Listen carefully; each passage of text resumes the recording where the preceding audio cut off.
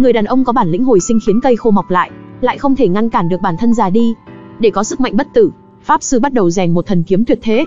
Chỉ cần vào lúc nhật thực ghép bảo thạch lên thanh kiếm, ông sẽ có được sức mạnh ngàn đời không chết. Nhưng không ngờ đồ đệ nhỏ của ông thấy vậy sinh lòng đố kỵ, cả người nhanh chóng bị bóng tối chiếm nuốt. Nhân lúc sư phụ sắp hoàn thành nghi thức, đột nhiên ra tay đập chết thầy mình, và thay thế đối phương có được sức mạnh bất tử. Pháp sư bị chôn sâu dưới đất oán khí không tan, ngàn năm nay vẫn luôn cắn nuốt bóng tối với ý đồ quay lại nhân gian.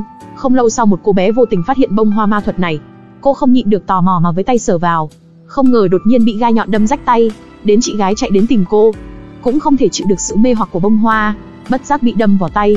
Sau khi hai người về nhà thì em gái đột nhiên rơi vào hôn mê, cả người nhanh chóng suy yếu chẳng chịt vết đen, mắt đỏ lòng trắng. Mà trên người chị gái cơ hồ cũng xuất hiện tình huống như vậy. Họ vội vàng tìm phù thủy có tiếng nhất trong vùng để xem tình huống.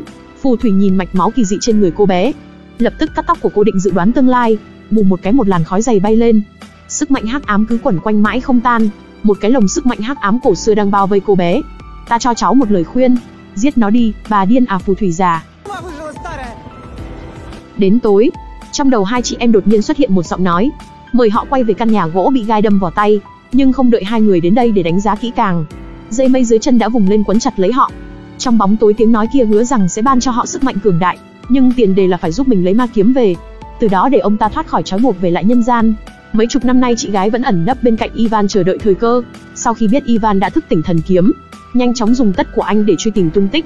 Sau đó cưỡi ma sói đến thần quốc Bạch Sơn đoạt lại ma kiếm. Ivan nhìn bảo mẫu của mình ăn mặc thế này thì vô cùng nghi hoặc, nhưng Marina không muốn nói nhiều. Vung tay một cái đã làm loạn tâm trí của binh sĩ, sau đó cải tạo thành ma binh trung thành. Vương hậu nhân lúc hỗn loạn, biến thành chim ưng bay về cung điện cướp lại ma kiếm. Nhưng à không ngờ bị Ivan dùng tay đập ngay xuống đất, Ivan vội vàng nhặt lấy thanh kiếm vứt cho cha mình. Quốc vương vung kiếm mới phát hiện, sức mạnh ma pháp trên thanh kiếm sớm bị Ivan dùng cạn. Không có pháp bảo hỗ trợ cục diện liền trở nên hỗn loạn, đến phù thủy pháp lực cao cường, cùng bị ma đằng quấn chặt mất đi năng lực chiến đấu. Quốc vương thấy tình thế nguy cấp đành phải đưa ma kiếm cho Ivan, bảo họ rời khỏi nơi này trước rồi tính tiếp. Sau đó chọn một mình cân hết binh sĩ không mắt. Phù thủy dẫn mọi người đến một khu rừng rậm, sau đó huýt sáo một cái, một con gà gỗ nghe lệnh lập tức đứng lên. Xuống sông, mọi người nhanh chóng chạy đến bờ sông tụ họp, nhưng lúc này vương hậu đã dẫn đại quân đi tới. May mà lúc nguy cấp, gà gỗ nhảy vọt lên trước, sau đó trôi theo dòng nước tạm thời thoát khỏi truy binh. Nhưng không ngờ Marina cưỡi ma sói đuổi theo, cô ta nhắm chuẩn gà gỗ đánh đòn chí mạng, phút chốc khiến đối phương mất đi năng lực chạy trốn. Đám binh sĩ dùng dây thừng trói chặt nó lại. Mắc mưu rồi, ở đây không có ai. Thì ra gà gỗ chỉ là mồi nhử, thực ra đám Ivan lúc đó đang trốn dưới chân bọn binh lính. Phù thủy nhớ đến chị em Marina từng tìm đến mình hồi còn nhỏ, bà biết rằng mọi người tuyệt đối không phải là đối thủ của pháp sư hắc hóa. Có lẽ cách đánh bại ông ta chỉ có đồ đệ nhỏ là ma vương có, được năng lực bất tử kia mới biết. Nhưng ma quân lúc trước vì cứu Ivan, sớm đã chọn cùng quốc vương đồng quy vu tận, muốn để ông ta quay lại nhân gian.